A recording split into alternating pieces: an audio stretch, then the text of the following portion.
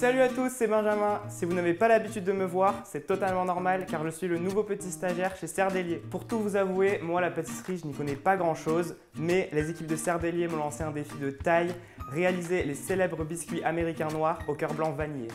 Mes biscuits seront composés d'une pâte sucrée au cacao décorée et d'une ganache chocolat blanc vanille. Je compte sur vous pour m'encourager en lâchant plein de pouces bleus, en commentant cette vidéo et en la partageant. Allez, c'est parti pour la recette. Ça va bien se passer. Alors pour se rapprocher au maximum du biscuit, nous allons donc réaliser une pâte sucrée cacao. Je croise les doigts, j'espère que je vais y arriver parce que jusqu'à maintenant, je n'ai réussi qu'une seule fois. Commencez par tamiser le sucre glace pour l'ajouter au beurre. Alors pour être honnête, tamiser, je ne savais pas du tout ce que ça voulait dire, mais en fait c'est super important parce que ça permet d'avoir une pâte bien lisse et sans morceaux. A l'aide d'une spatule, mélangez le sucre glace et le beurre jusqu'à obtenir un mélange crémeux. Ajoutez ensuite les œufs battus et mélangez énergiquement. Alors ne vous inquiétez pas si votre texture ressemble à des œufs brouillés, c'est totalement normal. Moi aussi ça m'a fait bizarre la première fois, mais on doit encore ajouter les ingrédients secs. Avant d'incorporer les ingrédients secs, on va ajouter l'extrait de vanille. Tout en les tamisant, vous pouvez maintenant incorporer la farine et le cacao en poudre. Toujours avec la spatule, mélangez jusqu'à obtenir une pâte. Ajoutez le colorant noir en fonction de la couleur souhaitée, puis finissez de mélanger votre pâte à la main.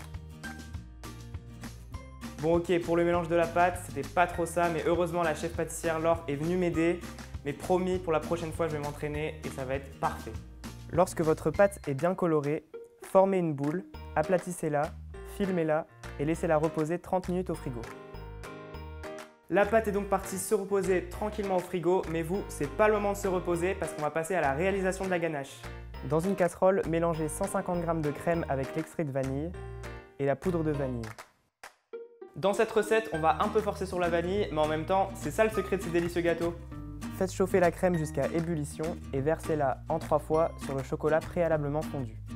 Mélangez énergiquement à la marise jusqu'à obtenir une ganache lisse et brillante. Ajoutez ensuite la crème froide et mélangez. Afin de bien lisser votre ganache, passez un coup de mixeur.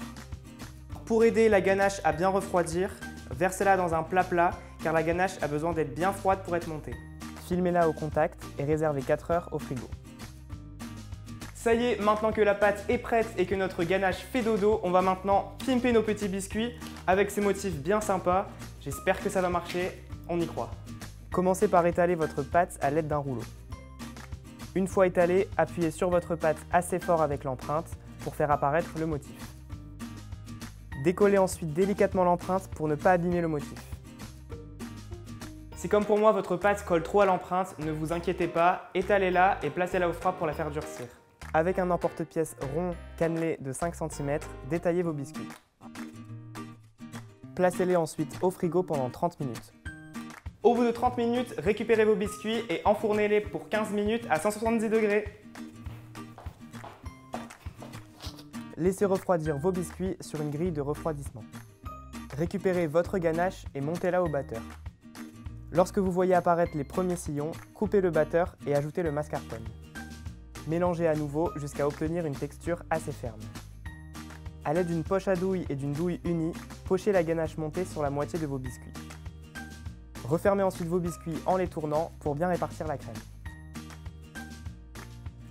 Encore un tout petit peu de patience. Pour les apprécier encore plus, je vous conseille de les mettre 30 minutes au frigo avant de les déguster.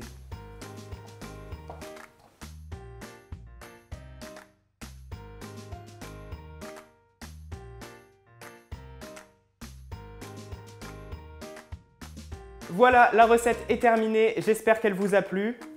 Bon, ça va, j'ai pas mis le feu à la cuisine. En tout cas, moi, je me suis vraiment éclaté et je vous retiens pas plus longtemps parce que si vous êtes gourmand comme moi, vous devez avoir super envie de les goûter. Alors en tout cas, je vous dis à très bientôt peut-être pour une prochaine recette. Ça y est, maintenant que la pâte est prête et que la ganache... ça commence bien. Ok. Ou alors tu fais escalator C'est trop drôle. Mais c'est trop drôle ça.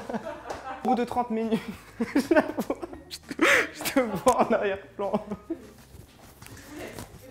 Au pire, mets-toi de dos, retourne-toi. Euh... En tout cas, moi je me suis éclatée. C'est quoi après ça?